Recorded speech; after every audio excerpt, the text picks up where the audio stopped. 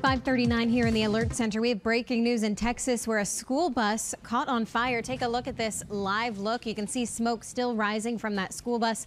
Firefighters are actively working to make sure the fire is put out. Right now, we don't know if any kids were on board at the time.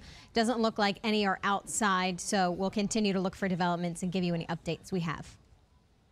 The South Fort Myers High School football team is ready to start regular season after losing some star players to college football. NBC2's Nate Foy saw the Wolfpack up close and thinks their fans are going to be pleased. That's right, Peter. Well, if you followed high school football at all last season, you know Jeshaun Jones is simply a player who just cannot be replaced. The now Maryland wide receiver graduated along with 14 other starting seniors, and now head coach Brian Kahn is relying on some new faces to pick up the slack.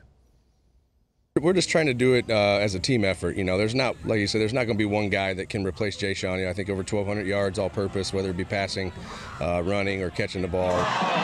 Jeshaun Jones is now playing major college football, but his footprint is still on this program. He had all his influence on me. I learned most of my things from him. I used to block for him. I really looked up to him. Now, senior wideout Julian Durham and running back Freddie Ward are leading this year's Wolfpack. It's my senior year now. It's my turn to take over the team you know, but I'm just trying to lead. We got to lead in the right direction. Me and my mom grew up knowing about football. My mom played it when she was younger, played it in the streets. I'm playing it on the field. I'm doing this for my loved ones. I'm putting everything I can into this field. On Friday night, the Wolfpack will square up against the team they lost to last year, the Cape Coral Seahawks. Their approach can be summed up with just one word. Violently.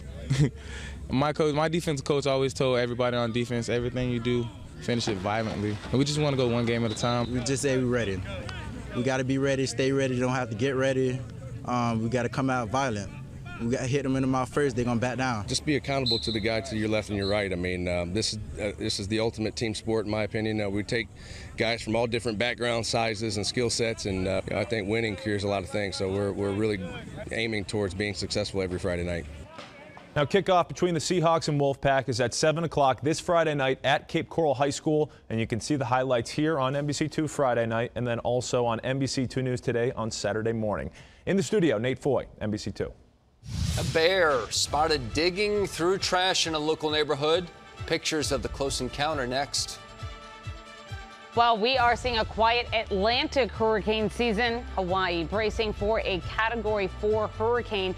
What is it going to look like as it gets closer to Honolulu? I'll have the forecast coming up.